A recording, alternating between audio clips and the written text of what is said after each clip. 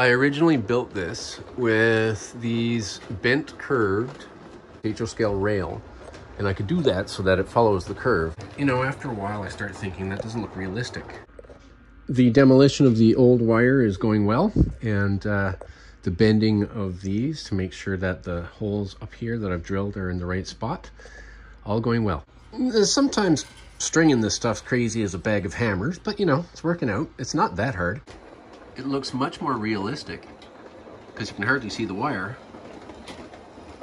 and the power is in the wire.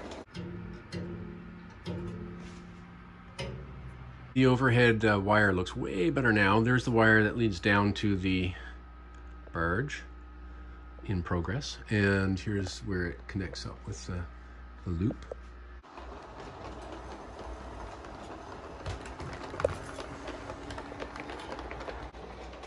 It really looks better. Much happier now. The pantograph on the top of the locomotive is wide enough. Observe.